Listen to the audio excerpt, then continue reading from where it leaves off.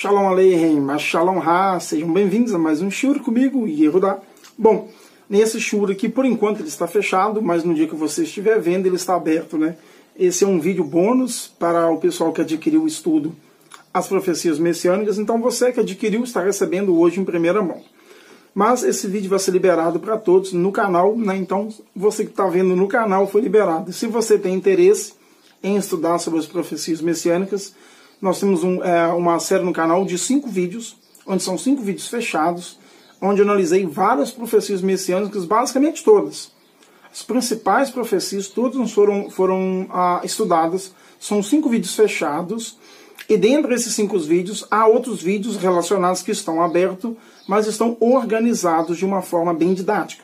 Onde vamos falar sobre Daniel, Isaías 53, sacrifício perfeito, aonde teria nascido Jesus. Então, são vários vídeos que estão abertos, ah, falando sobre o Salmo 22, são vários vídeos abertos, alguns não são não me, nem meus, mas estão na descrição, porque são vídeos públicos, ah, e os cinco vídeos fechados. Então são cinco vídeos fechados, aonde você precisa ah, fazer o, o, aquisição do estudo, para ter os cinco vídeos fechados, e dentre eles são outros. Então, somando tudo, dá mais de 15 vídeos, são bastante vídeos. É um conteúdo muito interessante para quem tem interesse sobre as profecias messiânicas. Bom, vamos lá. Hoje a gente vai passar por uma passagem que é uma passagem muito conhecida, só que as pessoas elas descaracterizam o texto. Elas esquecem o que o texto fala e elas acabam pegando aquilo que lhes interessa. Então a gente vai ver como é que funciona. Então, ah, eu recomendo a vocês pegar a Bíblia de vocês no livro de Miqueias, ah, ah, Miqueias, né? No capítulo 4. Miqueias, capítulo 4. Bom, eu vou ler o capítulo inteiro, que é um capítulo pequenininho, mas muita gente passa despercebido essa profecia tão importante e tão forte. É uma profecia muito forte, pois é, está relacionada ao grande dia do juízo, na vinda de Machia. Várias profecias ah, batem com Machia vindo em uma guerra. O povo tendo, ah, sendo oprimido por alguém, alguma guerra. Esse é um dos motivos que muitos acreditaram, e eu não vou entrar aqui nos méritos nada disso, quer saber mais, vai adquirir o curso fechado.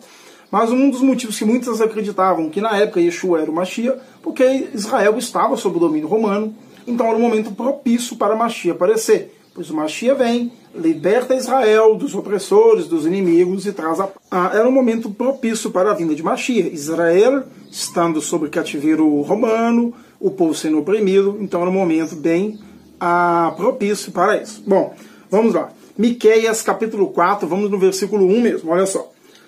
Ah, pois aquele dia vem ardendo como um fornalho, todos os soberbos e todos os que cometem impiedade serão como restolho, e o dia em que está por vir os abrasará. E Adonai dos exércitos, de sorte que não lhes deixará nem raiz nem ramo, mas para vocês, os que temem o meu nome, nascerá o sol da justiça, trazendo cura nas suas asas, e vós sabereis e saltareis como bezerros nas estrebeiras. Pisarei os infiéis, porque se farão cinzas debaixo das plantas dos meus pés. Porque naquele dia pisarei, diz Adonai dos Exércitos, é o, é o Senhor dos Exércitos, ah, lembrarei vós da Torá de Moisés, meu servo, que lhe, que lhe mandei em Hebron, para todo o Israel, e saber, e saber regulamentos e ordenanças. Eu vos enviarei o navio Elial, antes que venha o grande e temível dia, diz Adonai. Convertei o leve dos corações dos pais e dos filhos e dos seus pais, para que não venha e fira a terra com maldição. Bom, olha só que interessante. Então aqui a gente vê que o Eterno diz que esse dia vem, e o dia vem logo, e quando diz o dia vem, não quer dizer que tem que ser hoje ou que tem que ser amanhã, porque um dia para nós não é a mesma coisa que um dia para o Eterno. O Eterno não está preso no tempo e espaço. Mas esse dia vem, essa profecia vai se cumprir ou hoje, ou amanhã, daqui a um ano, dois ou mil, o Eterno sabe. Mas esse dia vem. Então, olha só, vamos ler o texto pausadamente e vamos analisar com bastante inteligência. Somos pessoas sábias. Pois aquele dia vem ardendo como fornalha. Todos os soberbos e todos os que cometem impiedades, ou seja, os maldosos, os perversos, os, os rechaim, serão como restolho, e o dia está por vir, os abrasará diz o Senhor dos Exércitos, de sorte que não lhes deixará nem mesmo raiz nem ramo, ou seja, não há brecha aqui para um dia depois desse. esse dia a terra será purificada, não haverá mais maldade no mundo. Todos os inimigos da Eretz de Israel, da terra de Israel, do povo de Israel, não sobrará nada. Olha só, não deixará nem raiz, nem ramo. Ou seja, quando você pega uma, uma planta, quem tem quem mora na roça ou tem mato em casa, se você capinar o mato por cima, ele nasce de novo. Assim acontece hoje. Você vai lá, mata um bandido, amanhã tem 10 bandidos de novo. Eles continuam. Mas se você matar todos os bandidos, não tiver mais bandidos, eles não vão continuar. A não ser que o homem volte a ser bandido. Mas daqui a gente vê que aqueles que cometem as impiedades serão destruídos. Então diz, olha só, não deixará nem ramo nem raiz. Ou seja, não, só, não, não haverá nada mais de mal. Todos eles serão destruídos. Não há que brecha para uma segunda vinda, para uma vinda e um tempo depois. Não. De sorte não sobrará nem ramo, nem raiz. O mal será arrancado pela raiz, não sobrará nada. Não sobrará nenhum inimigo da élite de Israel. Então, nesse dia, não sobrará nada. O inimigo será acabado. E quando eu digo que será acabado, a paz irá reinar no mundo inteiro. Então, a gente vê muito claro. Ah, de sorte que não lhes deixará nem raiz nem ramo, mas para vocês, os que temem o meu nome. Aqui, Hashem falando e o seu nome sagrado. Os que temem o seu nome, nascerá o sol da justiça, trazendo nas suas asas, e vós é, sereis e, saltar, e saltarão como bezerros nas estribeiras. Ou seja, aqueles que confiam, aqueles que guardam no, no eterno, serão como bezerros nas estribeiras, serão pularão, gritarão, vão comemorar, vai ser festa, alegria. É um as bezerradas pulando no curral, vai ser alegria. Para eles nascerá o sol da justiça, trazendo cura em suas asas. O que significa isso? Curando toda enfermidade. Não haverá mais doença, não haverá sofrimento, não haverá dor. E aqui é tudo que é tipo de sofrimento. A depressão, dores, cegos, mudos, não haverá dor, não haverá sofrimento.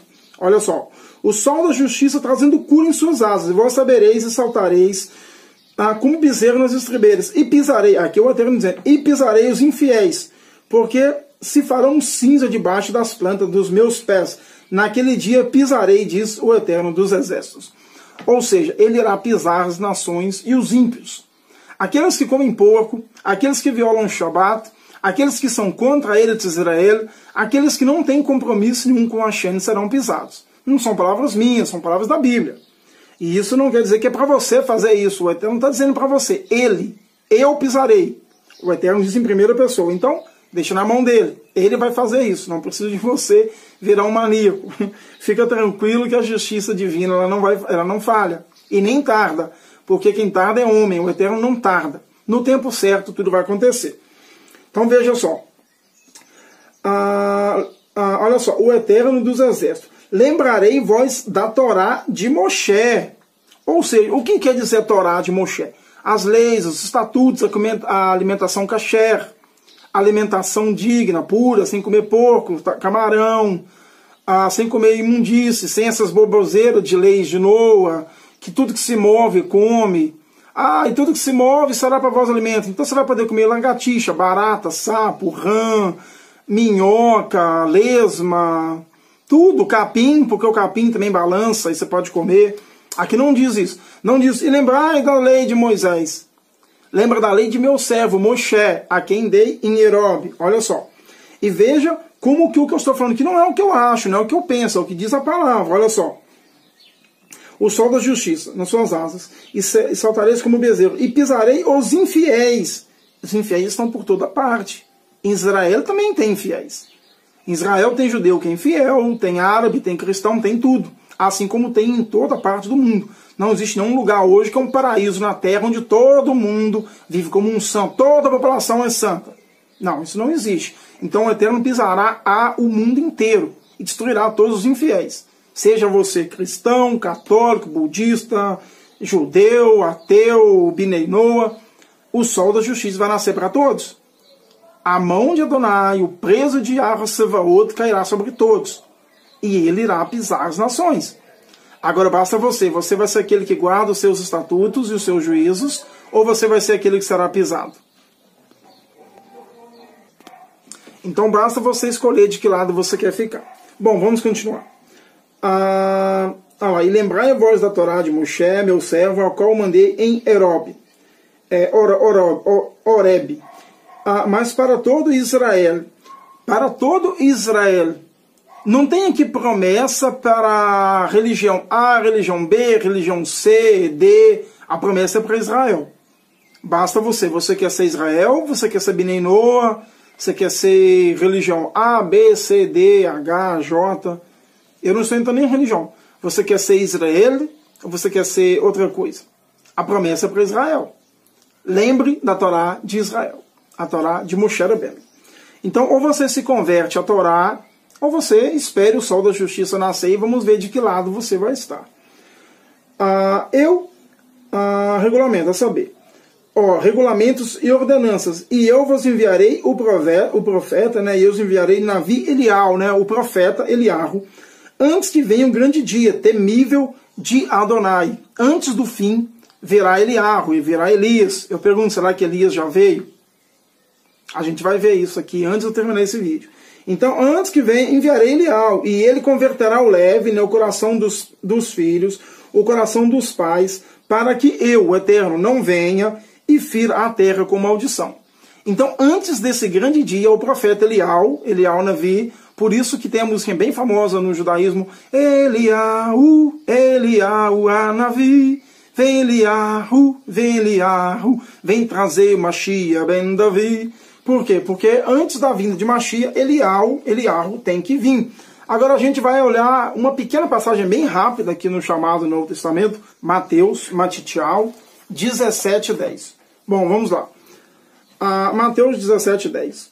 Eu não vou ler o texto inteiro, porque o texto é um pouco grande, mas você pode ler e vai falar sobre quando eles subiram no monte, Aí, segundo eles, viram Elias e Moisés e queriam fazer três tendas, aquela nuvem sobre eles, eles dormiram e quando acordaram, a gente vai entrar mais ou menos aí. Então você pode ler o texto inteiro, Mateus 17, tá bom? Pode começar lá do, versículo 1 se você quiser. Mateus 17, a gente vai o 10. Olha só. Ah, 17 e 10. Cadê, cadê, cadê, cadê? E perguntaram-lhe os Talmidim, né, os discípulos. Então, por que dizem os escribas que é necessário que Elial, que Elias venha primeiro. E respondendo-lhe Yeshua, lhe disse, na na verdade, Eliar virá primeiro, e restaurará todas as coisas. Olha só, ele é que diz, virá e restaurará. Ele está dizendo no futuro. Olha só. Ah, 10. Perguntaram-lhe os talmidins, então por que, diz os escribas, né, os senhores da lei, os doutores no Torá, ah, que é necessário que Eliar venha primeiro? E responderam Yeshua dizendo, e, é, em verdade, Eliar virá primeiro, restaurará todas as coisas. Eu, porém, digo algo para vocês, Eliar já veio e vocês não reconheceram, mas fizeram tudo com ele. O que quiseram, assim também farão quando o filho do homem, que ele vai continuar. Então, o que ele está dizendo? Que Eliar já veio. Uma hora ele falou lá atrás que Eliar virá, viria, virá, né, virá, e restaurar todas as coisas. Depois ele diz, olha, uma coisa eu vos digo, que ele já veio, e fizeram tudo com ele. Agora, será que faz sentido? A profecia de Miqueias ela é bem clara. Ela vai deixar muito claro que o dia do Eterno está tá vindo, esse dia vem, e antes que ele venha virá Eliarro. Eliarro virá, irá trazer o povo a se arrepender, voltar a Torá, ao coração dos pais e dos filhos, como a gente viu, para que o Eterno não venha e não traga maldição sobre a terra. Mas aqui ele diz que já veio e fizeram tudo com ele. Ah, aqui no canal tem um vídeo sobre Eliarro, o profeta Elias, Bom, aqui no canal gente, eu tenho um vídeo sobre o profeta Elias. O profeta Elias foi um dos maiores profetas que teve na Bíblia. Ah, em questão de fazer milagres, grandeza. Elias falou que não ia chover e não choveu. Elias rezou, orou e caiu chuva de fogo do céu. Era um profeta muito poderoso. Elias não era um profeta, não que nenhum profeta seja profeta qualquer, todo profeta tem a sua importância, o seu valor. Não há profeta em grandeza de tamanho maior ou menor que o outro, em grandeza de fazer coisas, né, fazer prodígios, milagres, etc. E tal. Mas Elial né, foi um grande profeta. Um grande profeta. Há muitas discussões sobre se Elias morreu ou não morreu, se ele foi levado ao vivo ao céu ou não. Não vamos nem entrar nesse método, mas foi um grande profeta. Faz sentido Elias vir como um homem depois, a gente vai ter que entrar agora em reencarnação. Vamos acreditar em reencarnação, ele vai ser outra pessoa. Alguns vão dizer que ele era João Batista, sei lá. A gente vai começar a acreditar agora em reencarnação. Ele morreu, reencarnou como outra pessoa, nem sabia que ele era Elias. Ou seja, o mundo então não estava nem esperando por ele, porque a profecia para que vem Elias, veio uma outra pessoa, sem profeta, sem os poderes de Elias, porque Elias era um profeta poderoso. O dia do Senhor então não veio, e agora vem o Machia, sem que venha Elias, sem nenhuma base, sem nenhum contexto dentro disso. Faz algum sentido? Para poder, para poder acreditar nisso, tem que fazer várias gambiarras, fazer uma peneira nas escrituras e fazer uma salada de fruta. Primeiro, o profeta Elial, Eliarro, ele tem que vir converter o coração dos pais, para que não venha maldição. Assim, depois virá o Eterno e pisará as nações. A gente não viu isso acontecer. Não vimos os corações dos pais serem arrependidos. Não vimos Elial vir com grande poder, pois era um grande profeta. Uma reencarnação de uma pessoa sem os poderes, sem ninguém nem saber que ele era Eliarro, que ele era Elias. Precisamos fazer uma salada de frutas sem tamanho para acreditar nisso. Bom, ah, é apenas um estudo, ele é baseado mesmo em Miqueias, capítulo 4. É uma profecia muito forte, onde não deixa a menor dúvida que antes que venha Machia tem que vir Elial. E é um dia que o mundo vai saber, é um dia forte, não é um dia como qualquer outro dia. Ah, veio um cara ali e ele diz que Elial. Não, o mundo vai saber que ele é Elial. Era um grande profeta, muito poderoso, ao qual muitos acreditam, inclusive eu, que o profeta Elias não morreu. Ele foi levado aos céus em vê-lo. Bom, temos uma passagem que eu separei que também está em Mateus, ah, capítulo 13, versículo 10. Mateus capítulo 13, versículo 10. Olha só. Mateus 13, versículo 10. Versículo 10. E aproximaram-se os tomidins e disseram a ele: Por que lhe falas por parábola? Ah, e, ele respondeu: Ah, porque vocês é dado a conhecer os mistérios e os marrutos do céu, mas a eles não é dado. Porque os que têm, porque, ah, porque aos que têm lhe dará, e os que têm abundância, mas os que não têm, nem aquilo que não têm lhe será tirado. Ah, ou seja, aqui eu estou falando das parábolas. Por que, que eu trouxe essa passagem também? Porque antes que venha Machia, vai ter que vir Eliarco. Eliarco vai converter o coração dos pais e trazê-los a Techuvá, a lembrar da Torá de Moisés, como a gente viu em Miqueias capítulo 4. Mas o mesmo ele falava em parábolas para que eles não arrependessem. Você pode ler todo o contexto, está em Mateus capítulo 13, versículo 10. Pode ler Deus do 13, 1, não tem problema, que eu não estou precisando enganar ninguém. Qual é o sentido do Mashiach vir e não abrir o coração daqueles? Qual é o sentido do profeta chegar numa terra e falar, não, eu vou querer que esse, aquele, aquele se converta, mas aquele eu não quero que se converta, não. Esse aqui eu quero que seja destruído, seja punido. Bom, a gente vê o caso de Jonas, que foi na terra que não era nem judeus, uma terra de pagãos, ah, e ele falou para o povo: arrependais. Vocês têm que se arrepender, as maldades está muito grande, é só ler o livro de Jonas. E o povo acreditou, se arrependeu e foram, e foram salvos daquela praga, daquela punição do Eterno. Então a gente viu que Elias não veio, não dá para a gente enfiar ali uma reencarnação sem nenhuma base, sem nenhum contexto, sem nenhuma prova, sem nenhum sinal que era Elias. Não converteu o coração de ninguém, não veio o dia do Senhor. Ou seja, naquele grande dia, quando vier Elias, o mundo vai saber. E o coração dos pais serão convertidos. O Eterno virá, pisará toda a nação, toda a, a terra, na verdade, e os infiéis serão destruídos. Não sobrará nem ramo, nem raiz. O mal acabará de uma vez por todas. Quase todas as profecias messiânicas, 90% delas são baseadas em uma guerra. Israel estará em um cerco, cercado por inimigos, e nesse grande dia virá Machia. Bom, o vídeo vai ficar por aqui. Se você gostou do vídeo, deixa seu like, curte, comenta, compartilha.